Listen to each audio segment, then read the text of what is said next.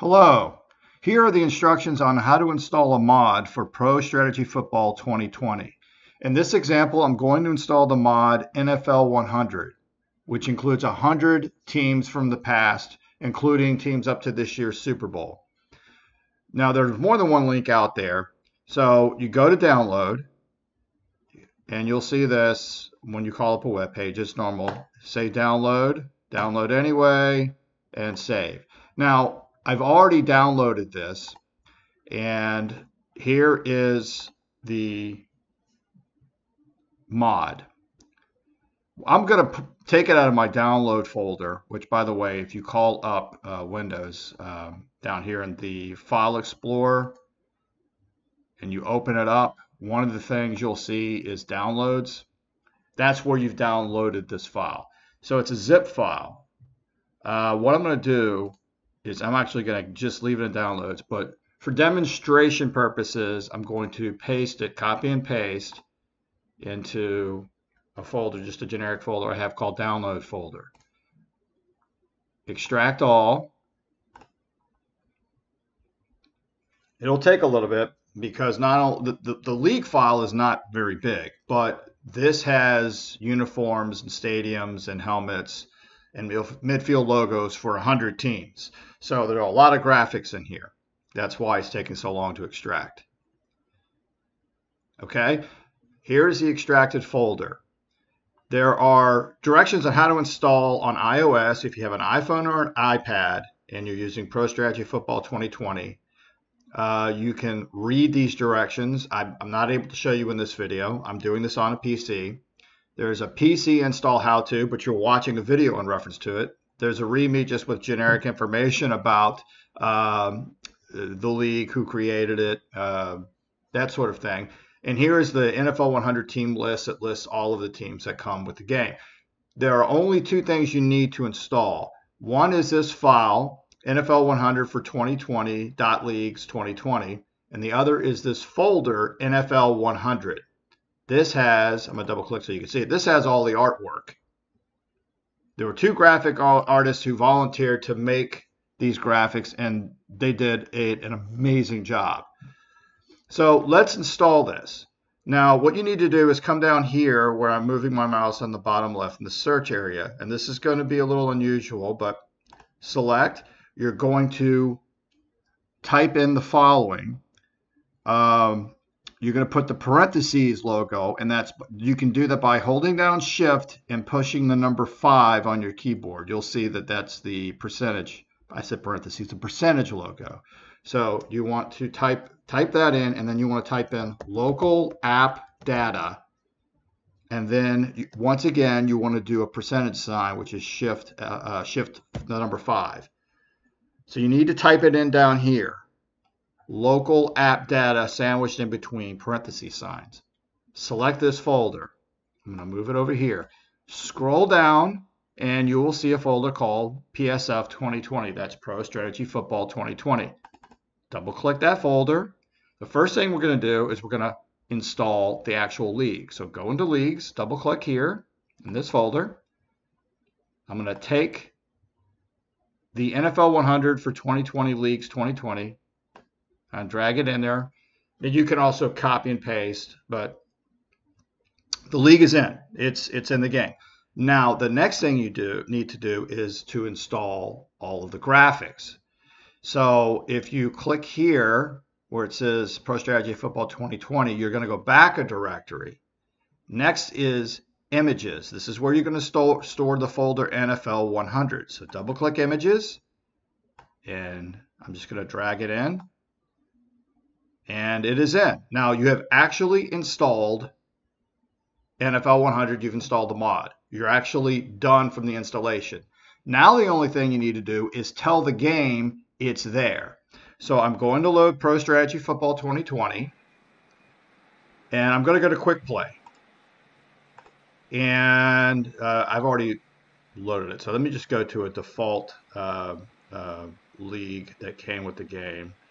Um, I'll just say this. Okay, you need to come up here uh, under Quick League Play, and you need to tell the game that the NFL 100 mod is here. So you select quick league play, go, you'll see it. Whoops, you'll see it here.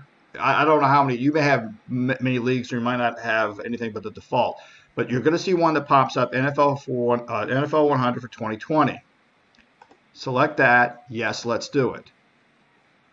You're done. You've told the game it's there. Now, I'll give you an example. New quick game. And look at that. It, came up with the 77 Cowboys against the 79 Oilers. Now you just play the game like you normally do. And you can select whoever you want. And here's a list of the teams. There are one, two, three, four, five. There are six teams from the 50s. And these six teams were listed by the NFL as six of the top 100 teams of all time. Uh, that was done this year. So we've included these teams in the game.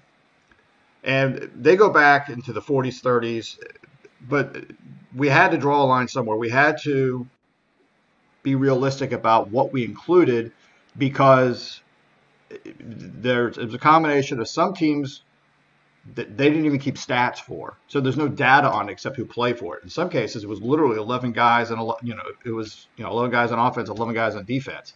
Uh, and then you had situations where the rosters were so incredibly small that we'd have to go in there and create. Uh, that might have not even been a tight end. So you'd have to take a wide receiver and throw him in as tight end, and you have tight end two, tight end three, wide receiver three, um, you know, defensive back. Uh, you know, you'd have like all your backup defensive backs would be, you know, DB5, DB6, and it got to the point would be unrealistic. So a line had to be drawn somewhere. So we started with the 50s, and these are the six teams from the 1950s that were included by the NFL in the NFL 100. Uh, pardon me, the 50s. Scroll to 60s, and we went both NFL and AFL. Not all of these teams were were listed on the NFL 100. For example, uh, the 62 Dallas Texans, who would eventually become the Kansas City Chiefs. Uh, they were not listed in the NFL 100. That being said, they're a unique team, and they're the only they only existed for a couple years, and then they became the Kansas City Chiefs, and they they won the AFL. So teams like this, where we still made 100 teams, but we didn't do it with all of the teams by the NFL 100 because we couldn't. So we had to insert teams that maybe didn't make it that would be unique or fan favorites of the game. So uh, we scroll through, and again, these are NFL and AFL champion teams. And again, this is before the merger.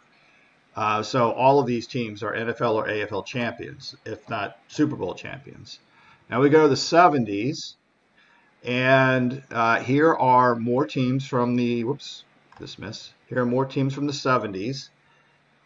And what I tried to do when making these teams was I didn't want to repeat over and over and over again if you won multiple Super Bowls. For example, the Steelers won four times.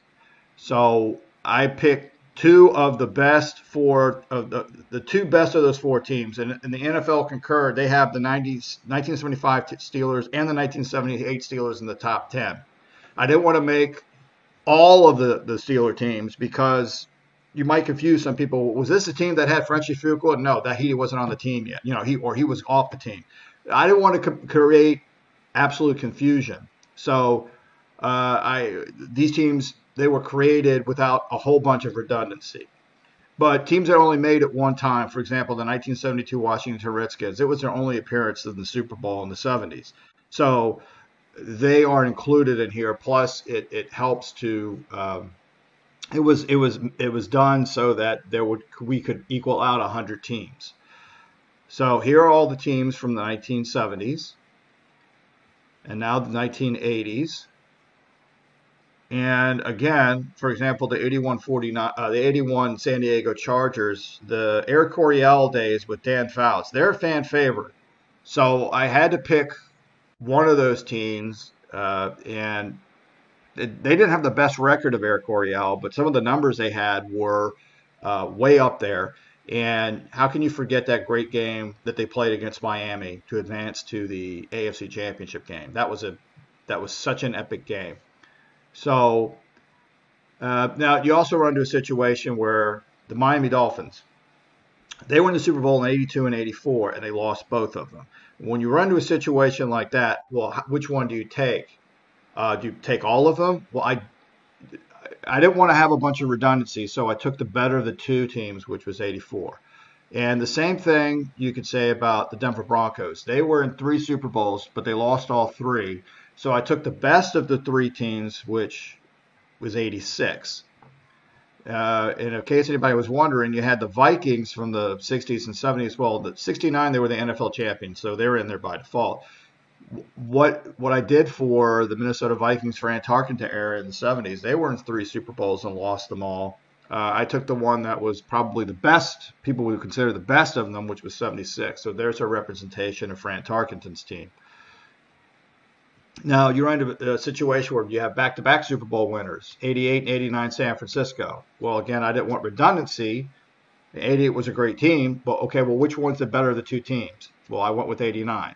And some people consider that maybe the best team ever. Okay, we go to the 90s. Same scenario what I was just referring to uh, about the uh, teams that appeared in multiple Super Bowls but didn't win. The 90 Buffalo Bills was the best of the the four that made the Super Bowl.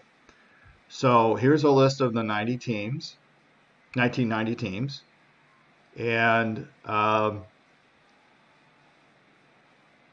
now we'll go to 2000. Now, when it came to 2000, I did make an exception. The Patriots were in one in 2001, 2003, and 2004. 2003 and 2004 were both incredible teams, but a slight nod to 2004 so they were back to back, and they were um, um, a lot of the same players. But I had to had to draw the line somewhere, so I included 2004. But because of historical significance and how incredible this team was, even though they lost the Super Bowl, I did include the 2007 regular season undefeated New England Patriots. So I did make an exception for that. Uh, but basically, it's the teams that won or only made uh, maybe one appearance uh, in the Super Bowl, win or lose.